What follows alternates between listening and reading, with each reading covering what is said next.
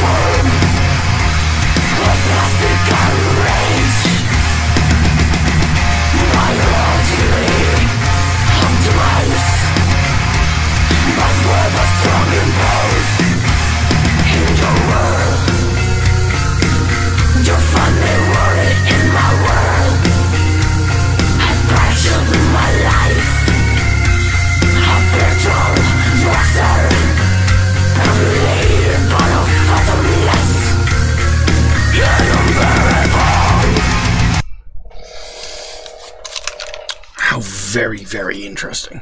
Um, got an interesting look to the band. Not at all what I was expecting. And I will say that the way that she sings sounds very similar to Angela Gossow of Arch Enemy before they went with that new um, woman singing and before they turned into self-righteous pricks who won't even pay a photographer for their photo. Um, I lost all respect for arch enemy, by the way. Um, anyway, we're not here to talk about them. Um, this does indeed seem to be the In Flame song. I'm not familiar with the actual track itself. And I'm not entirely sure what the song is about, but um, it could. No, I'm, I'm, I'm not entirely sure. It opens up with In your world, the day is no threat. In my world, there is an absence of light. Genetic superior cell controlled by the fathomless and unbearable. A radical new form of plastic and rage biologically optimized with a strangling pulse. In your world, you find me worthy.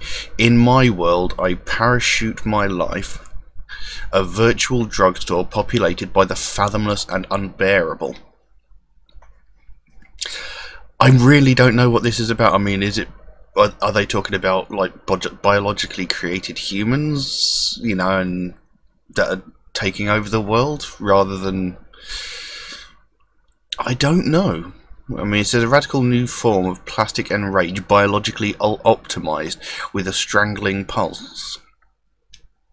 I mean, to me that just suggests biologically created humans or you know like androids or whatever. I don't know. It's rather confusing. Um so i can't really give any insight as to what the song is about at the moment.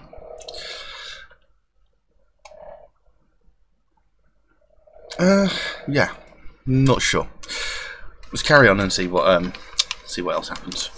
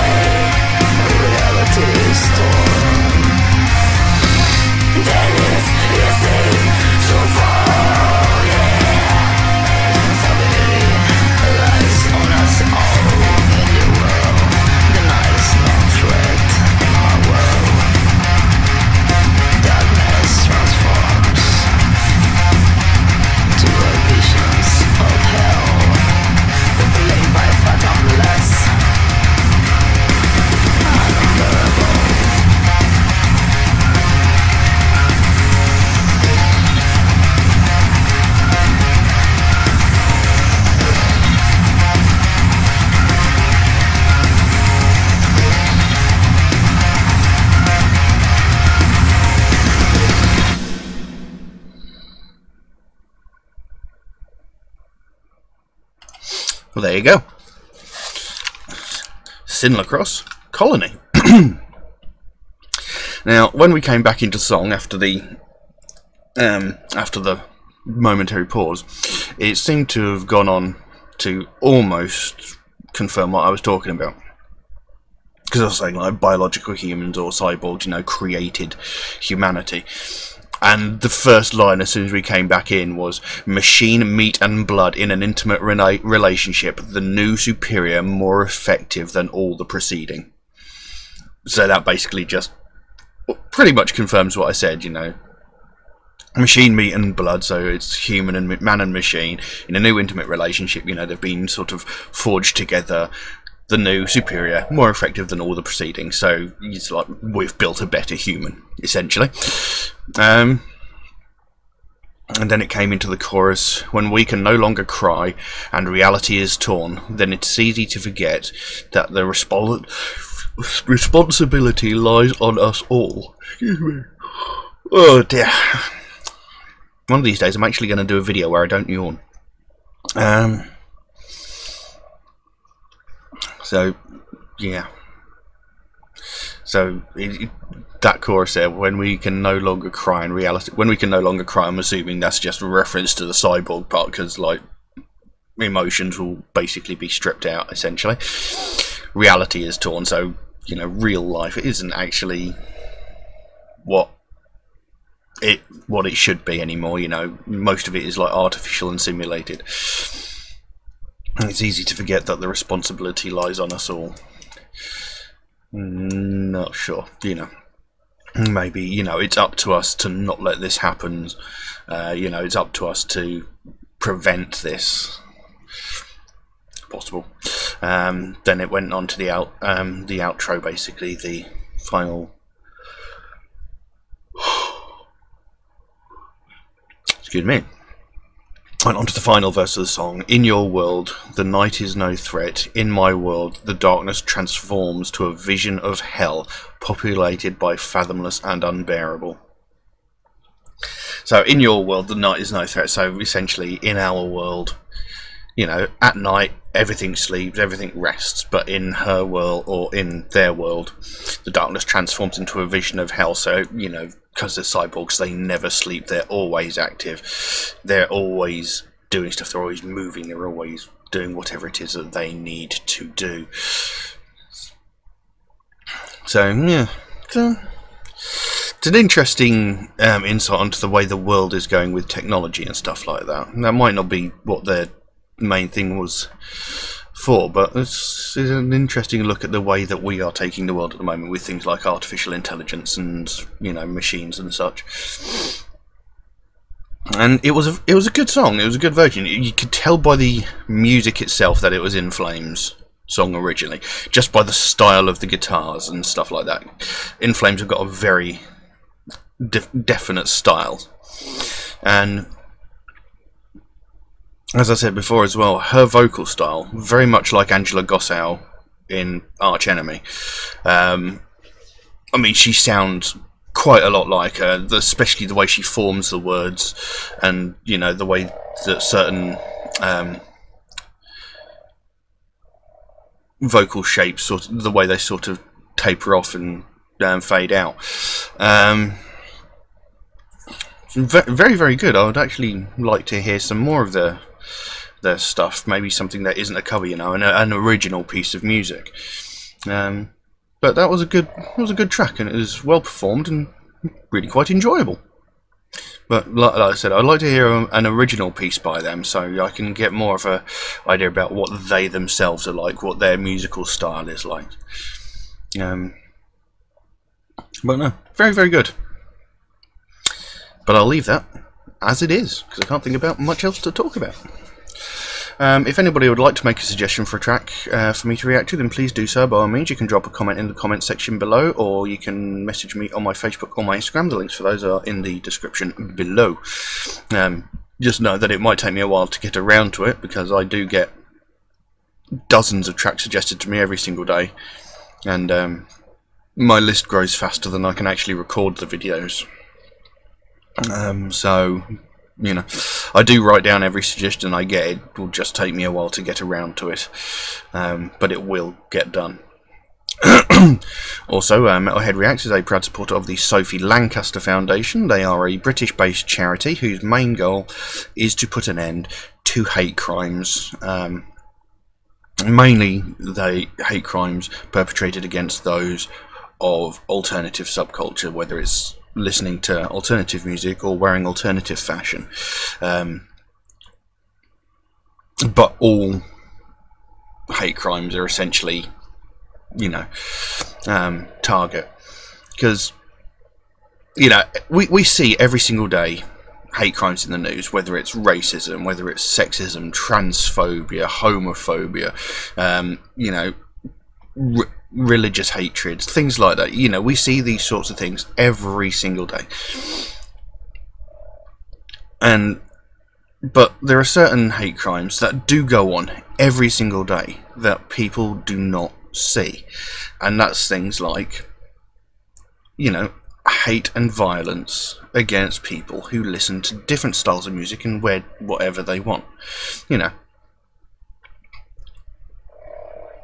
I know many, many people, you know, including myself, who have been attacked, violently attacked, verbally and physically, just because of the music that we choose to listen to and just because of the clothes that we decide to wear.